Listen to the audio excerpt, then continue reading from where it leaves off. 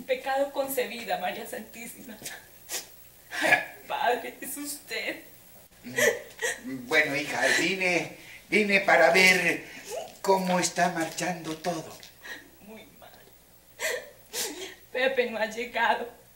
Antes cuando vivíamos en la casa de Lola, nunca llegaba antes de las 12. Y yo pensé que estando aquí iba a cambiar. Sí, claro, claro, era de esperarse. Sabiendo que tú estás aquí sola y que la casa está tan retirada de la plaza. ¿Y en qué tanto es que se entretiene Pepe, ah? Se la pasa tomando y jugando en la calle del rombo. Así como se lo había contado Padre Pío.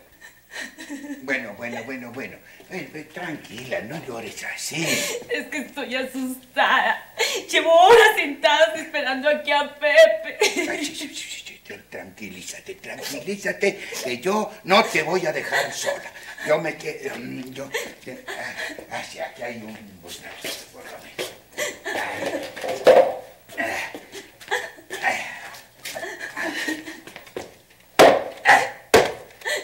Aquí me voy a quedar acompañándote hasta que tu marido aparezca. Nada tienes que temer, ¿eh? Gracias, Padre Pío. Muchas gracias. Lo estaba necesitando. Esta es la plata que hay que gastar en la compra de la nueva semilla. Y esta es para pagar los jornales de los trabajadores. Y esta la que nos queda para los gastos de la casa. Ay, Mauricio, esa siembra tiene que florecer, como sea, hijo, pero tiene que florecer.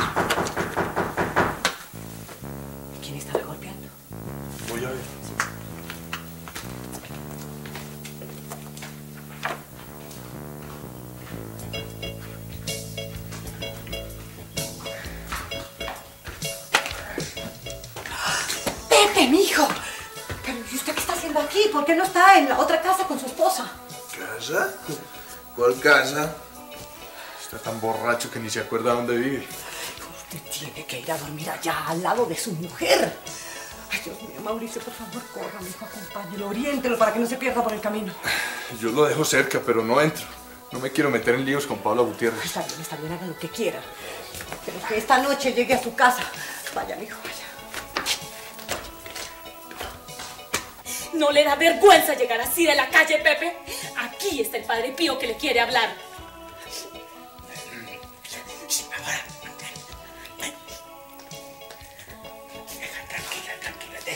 yo sé bien cómo arreglar esta clase de situaciones.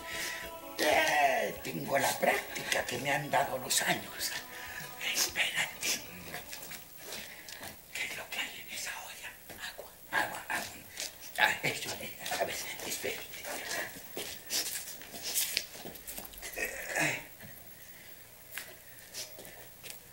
Esto es lo único que te lo deja como nuevo.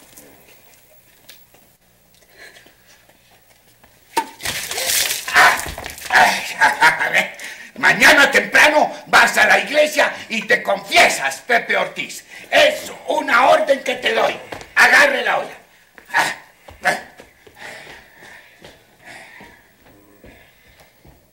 Allá lo dejé. Yo no sé qué pasaría, pero yo vi cuando abrieron la puerta. Qué falta de juicio la de ese muchacho. Ahora que usted se fue, yo me quedé pensando, Mauricio. Sus hermanas no se pueden casar con borrachines como Pepe. Ya va siendo hora de que vayamos pensando en conseguirle maridos a ellas. Y ojalá sean seis buenos esposos. Mamá, a usted se le ocurren unas cosas. No, no, no, no, no, mijo. No son ocurrencias. Estoy hablando muy en serio. Mire, Mauricio, cuando yo estaba más joven, cuando era buena moza, Solamente pensaba en tener hijos, hijos, muchos hijos para convertir esta tierra en la tierra de los Ortiz. Pero la suerte me la jugó. Y me dio ocho hijas y solamente dos varones, de los cuales solamente me sirve uno, usted. Ya que no pude tener los hijos que quería. Entonces necesito yernos. Por eso le digo que hay que casar a sus hermanas y casarlas muy bien casadas. Mire, hijo, de ahora en adelante todo trabajador que se contrate deberá ser joven, sano y bien parecido, para que sus hermanas puedan escoger. Yo le encargo esa misión, Mauricio. Y mi hijo, Nunca se le olvide lo que he repetido muchas veces. Solamente la unión de los hermanos es el secreto que da el poder. La unión es la que les dará la fuerza. Usted al frente de todos los esposos de mis hijas tendrá los mejores sembrados de la región. Solo así, esta podrá ser la tierra de los Ortiz.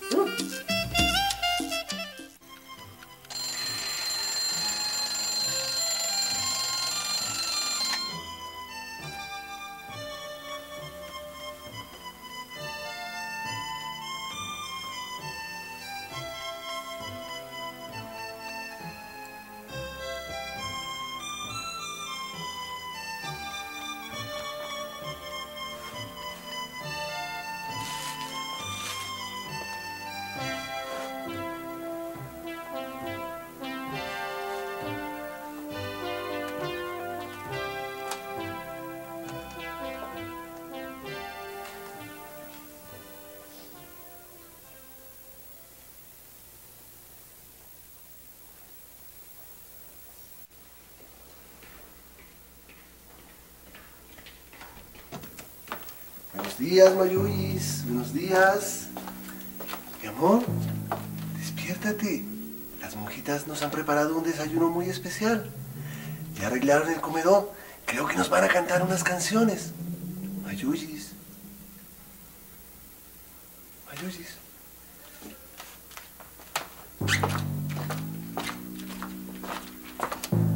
¿Qué pasa, Mayuyis? ¿Por qué no me contestas? Mano fría. Contéstame, Mayuyis.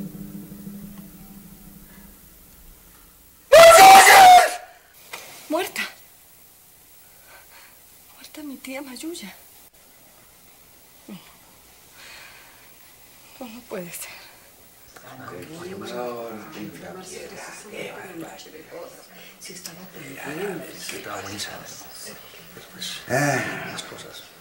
Ah, Tan contenta y tan animada que está. Terminó el examen. ¿Eh? Ya viene el doctor Marulanda. ya bien. Ah, sí, sí, sí, ya bien. Doctor, eh, eh, ¿cómo la encontró? Muerta, padre. No, Muerta. esta no, eso no puede ser. Aunque Messie Falla no quiera aceptarlo, ella murió ya hace dos o tres horas. Fue un paro cardíaco. Bueno,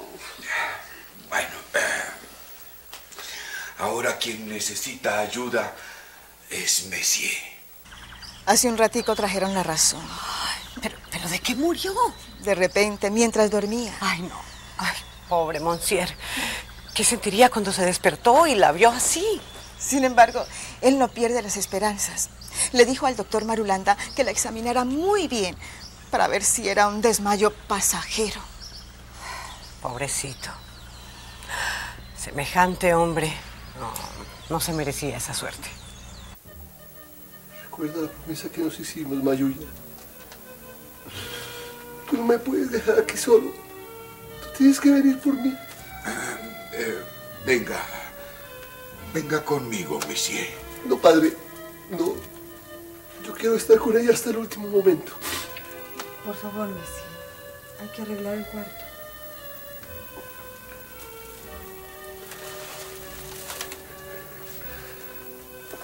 Tenía que suceder esto, padre?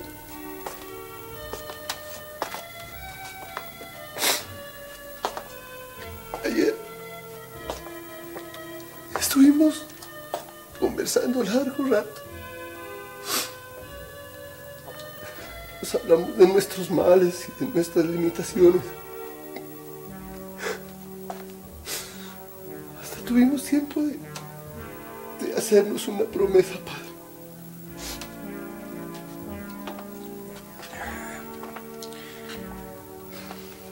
Son, son los designios de Dios, Messier. Yo entiendo cómo se siente, pero no se desespere. Mire, eh, tome como ejemplo al profeta Job, el hombre más probado del Antiguo Testamento. Él jamás se desesperó. Aceptó con resignación todos sus males. porque venían de la mano de Dios. No los tomó como castigo, sino como muestras de amor. Padre, Eso mismo debe hacer usted, Monsieur. Tenga fe, tenga esperanza. Lo demás vendrá por añadidura. ¿usted. ¿Usted cree que. que los muertos cumplen sus promesas, padre? Mayuya cumplirá lo que prometió.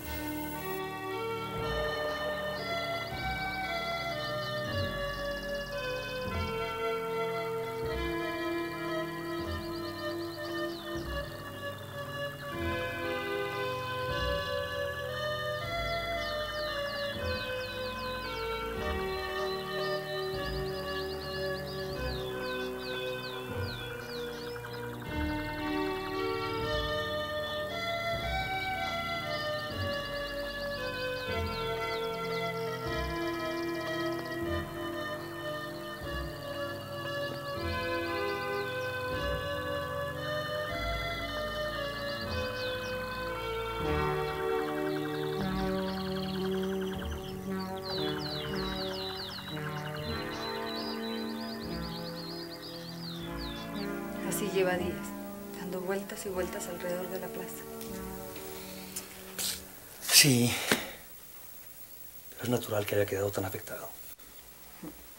¿Te has dado cuenta que no quiso volver a hablar con nadie? Dice el parepío que solo habla para mencionar una promesa que le hizo Misia Mayuya.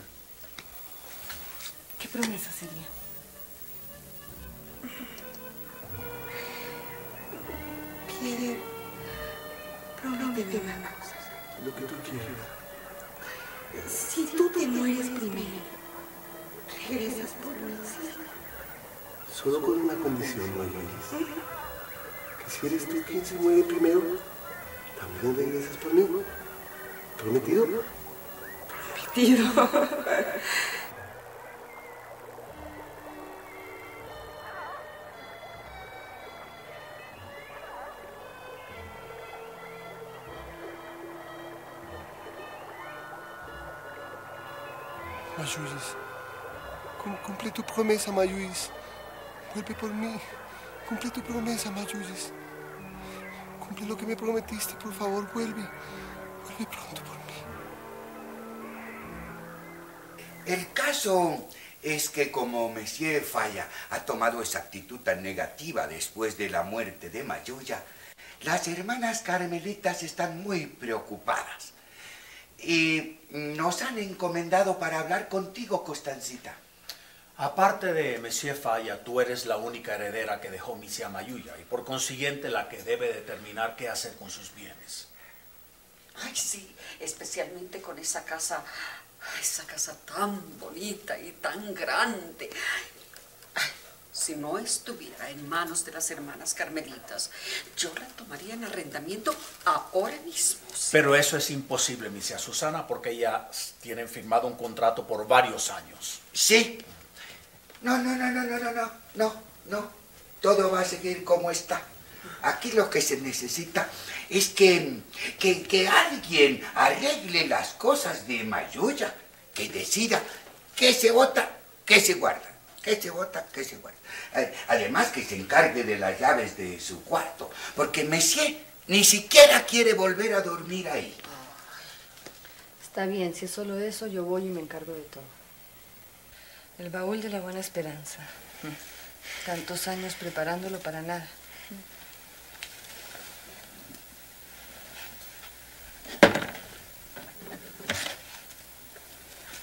Mira, Constanza. Aquí hay muchas cosas. Cartas. Documentos. Hasta fotografías. Mira, son cartas de mamá. Están fechadas desde hace años. Qué raro que nunca me las mostraron.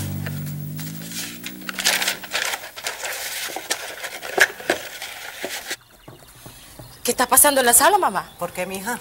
Porque Mauricio acaba de llegar con seis hombres guapos y bien parecidos. ¡Ay! Entonces los consiguió. Siga usted aquí, Dolores, haciendo estos calibañolas que yo tengo que conocerlos.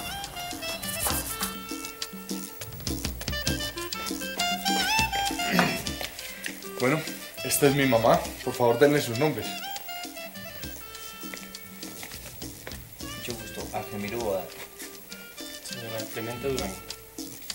Elías Jiménez. Miguel Palacino, no, no. Jairo Cepeda. Gilberto Marenco. Muy bien, señores. Muy bien. A partir de hoy, esta es su casa. Yo los recibo como si fueran mis hijos. Todos vamos a trabajar a una sola voz, bajo el mando de Mauricio.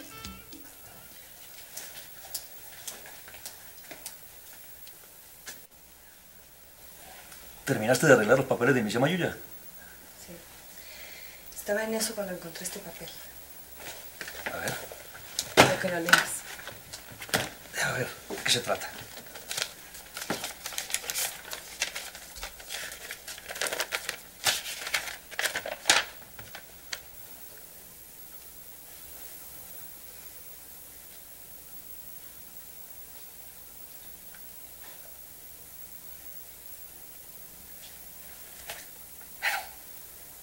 Esto qué significa?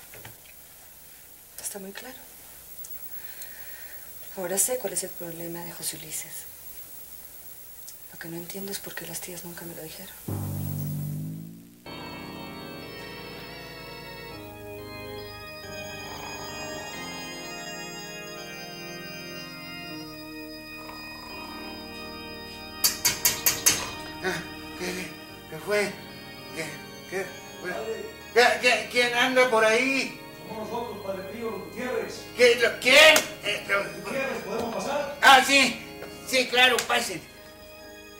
Pase, pase.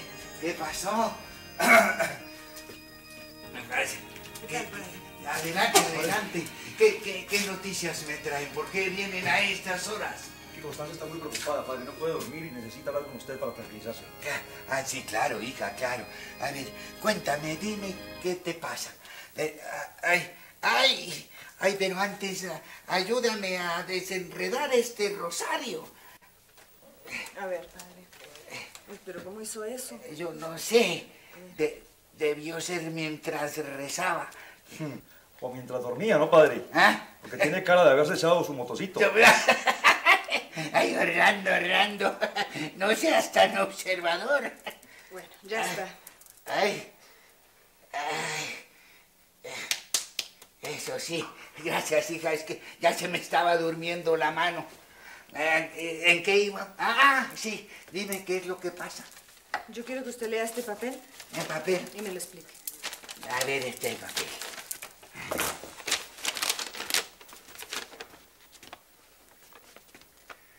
Y hace constar que la señora Carlota Mejía de Serrano se trató de... de- de- ah, ¿Qué?